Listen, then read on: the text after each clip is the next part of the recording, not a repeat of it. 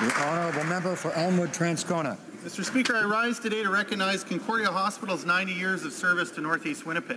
In 1928, a group of newcomers came together to open a maternity hospital.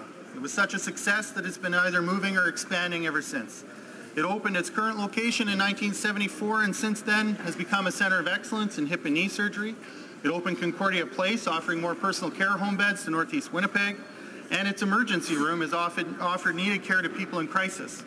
Unfortunately, the provincial Conservative government plans to close the ER in the new year. Other ERs in Winnipeg have been replaced with urgent care centers, but for some reason, Northeast Winnipeg has been singled out to be the only part of the city losing 24-7 access to care. Mr. Speaker, I can tell you that people in Northeast Winnipeg have been pushing back.